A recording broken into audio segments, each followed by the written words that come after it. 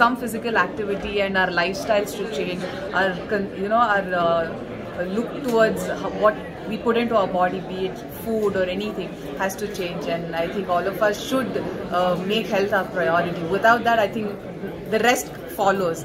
Uh, health is the priority. So what's your mantra to keeping yourself fit, ma'am? Uh, probably uh, for me uh, it comes with the job so i uh, but before that i was a national swimmer so i've been uh, into a sport since i was a kid so with today with the job i'm uh, you know there is uh, definitely a physical activity that I do every single day to keep myself fit.